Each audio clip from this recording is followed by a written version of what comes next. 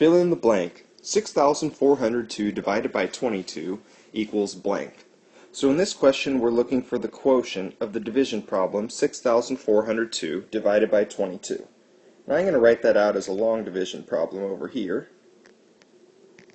So basically what we're asking ourselves with this division problem is how many groups of the divisor, in this case our divisor is 22, can we fit into the dividend, in this case 6,402.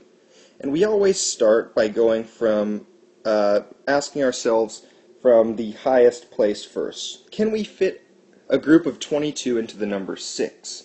And the answer there is no, because 22 times one group is 22, well more than 6. Now we move to the 4. Uh, how many groups of 22 can we fit in 64? Well, we already found out that one group of 22 is 22.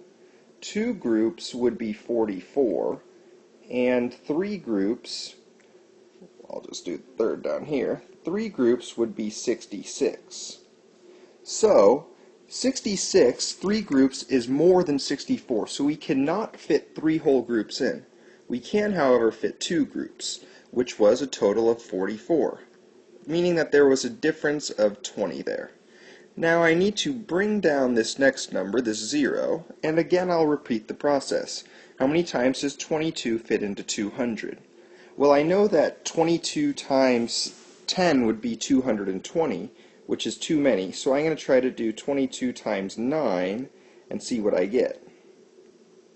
And when I solve that out, I see I get 198, just the right number of groups.